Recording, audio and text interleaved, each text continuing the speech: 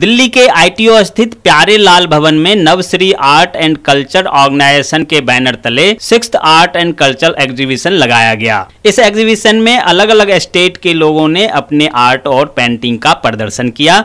आइए देखें हमारे संवाददाता हनी सहगल की ये रिपोर्ट। एक्चुअली मेरा फ़र्स्ट टाइम पार्टिसिपेशन मैंने इस बार फ़र्स्ट टाइम पार्टिसिपेट किया है। बहुत अच्छा लगा है और एक्साइटमेंट भी बहुत थी और काफ़ी कुछ गेन करने को भी मिला। एक्सपीरियंस ही बहुत लोगों से मिला है। मुझे बहुत बड़े बड़े आर्टिस्ट आए थे। तो उनसे भी काफ़ी कुछ गेन करने को मिला है। Uh, मैंने नटराज बनाया है। ये पूरा पेपर से है। ठीक है? एंड uh, इसको बनाने में मुझे कम से कम डेढ़ से दो महीने लगे। एंड पूरा पेपर क्विलिंग का वर्क है। पेपर को रोल करके सारी चीज़ें बनानी होती हैं। एंड पूरा स्ट्रक्चर मैंने उसी से निकाला हुआ एक्चुअली मुझे इंटरेस्ट पहले से है बचपन से ही। बट यहाँ पे मुझे कुछ कुछ लोगों का काम देख के कुछ लगा कि कुछ बनाना चाहिए जो थोड़ा सा अलग हो। एंड पेपर क्विलिंग को लेके लोगों का हमेशा ऐसा ये रहा है कि टू में लोग ज़्यादा काम करते हैं पेपर क्विलिंग को लेके।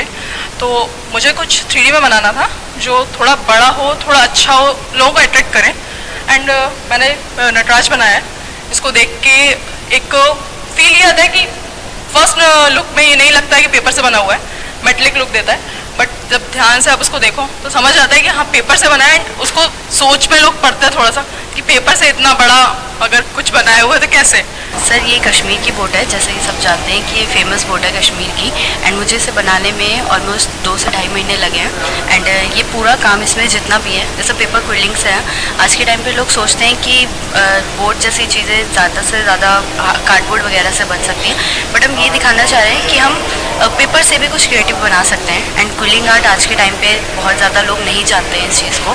तो उसमें बोर्ड को बनाने का फॉर्मेट सिर्फ़ बस इतना है कि लोग उसको देखें एंड अट्रैक्ट हो कि इस कुलिंग आर्ट से भी हम बहुत सारी चीज़ें बना सकते हैं। इस बार ऐसा ये खास था कि आ, हर साल जो पार्टिसिपेंट आते थे अलग अलग स्टेट से आते थे अराउंड 40 पार्टिसिपेंट की लिमिट रहती थी हमारी। पर इस बार 75 आर्टिस्टों ने पार्टिसिपेट किया है और अराउंड 16 स्टेट्स हैं जिन्होंने पार्टिसिपेट किया है इसके अंदर।